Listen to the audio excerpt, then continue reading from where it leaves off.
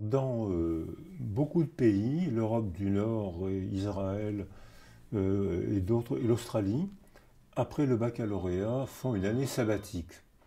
C'est-à-dire, la première fois que j'ai entendu ça, je me suis dit, ils passent le bac, ils prennent un an de vacances, ils démarrent fort dans la vie. Or, ceux qui ont pris une année sabbatique, un an ou deux parfois, ils, ont stressé, ils ont appris une langue, ils ont comparé deux cultures, ils ont travaillé, ils ont parfois gagné un peu d'argent, ils sont fiers d'eux, et quand ils rentrent s'inscrire dans une école ou à l'université, ils ont 1% d'échec. Alors que nous, euh, quand on fait la course, nos enfants passent le bac et s'inscrivent parfois dans des universités où ils ne veulent pas aller, mais il n'y a pas de place ailleurs. Selon les disciplines, on est entre 40 et 60% d'échecs après le DUG. C'est pas du temps gagné.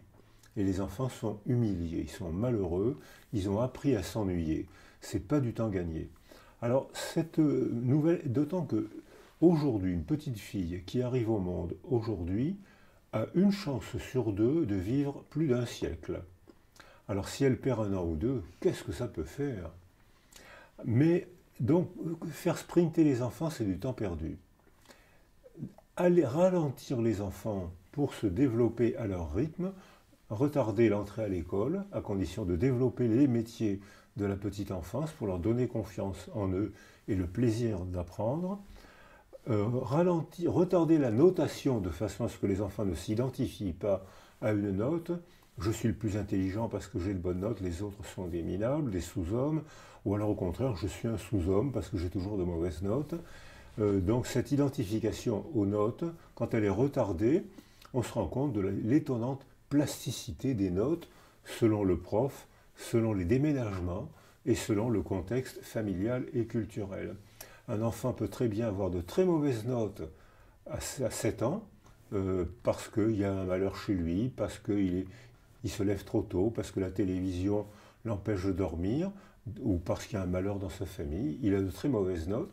Il déménage, ça s'arrange. Six mois après, il a retardé son retard et il devient bon élève. Alors ça, les métamorphoses scolaires, on, les voit très facilement à condition que quelque chose change dans l'environnement de l'enfant de façon à ce que l'enfant puisse se sentir sécurisé et dynamisé. Alors, ça, il y, a, donc des, pays, la France, ça arrive un peu en France.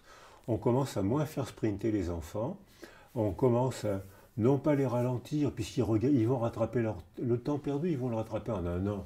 Donc, ce n'est pas du temps perdu. Mais on commence, et on voit de plus en plus de jeunes qui sont désireux d'avoir une initiation moderne, c'est-à-dire qu'ils veulent se mettre à l'épreuve après le bac pour savoir ce qu'ils valent, pour acquérir la confiance en eux. Et on voit beaucoup de jeunes qui partent dans les ONG, où ils sont courageux, ils sont entourés, ils sont utiles, ils sont fatigués, ils sont stressés, ils rentrent, ils sont fiers d'eux, ils ont appris quelque chose, ils ont appris une langue, ils ont découvert une autre culture. On voit aussi le programme Erasmus, qui en Europe est un réel progrès, c'est-à-dire que les enfants valident des universités euh, d'un pays à l'autre et il y a des équivalences. Donc c'est un progrès pour les langues, c'est un progrès pour l'ouverture d'esprit, mais tous les progrès ont des effets secondaires.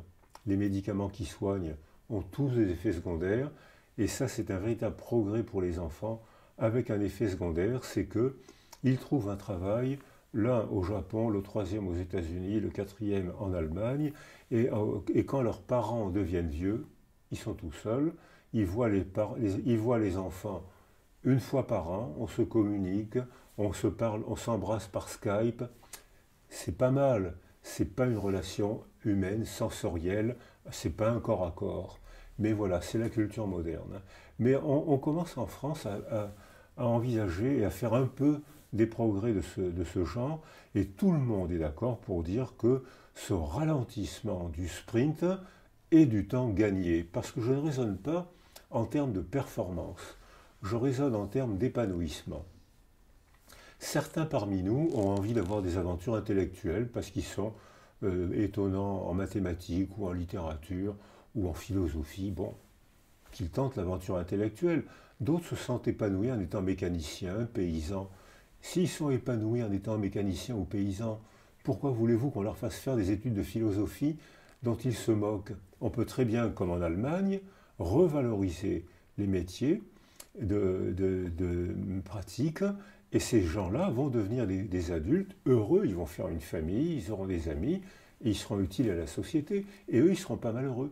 Alors moi, je préfère raisonner en termes d'épanouissement qu'en termes de performance, comme aux Jeux olympiques.